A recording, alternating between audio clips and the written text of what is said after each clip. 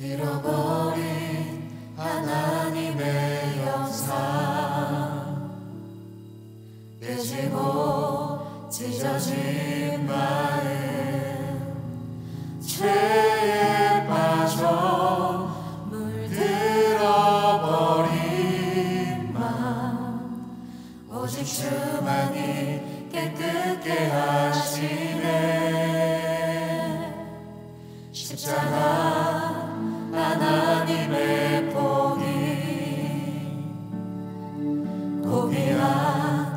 사랑의 생명.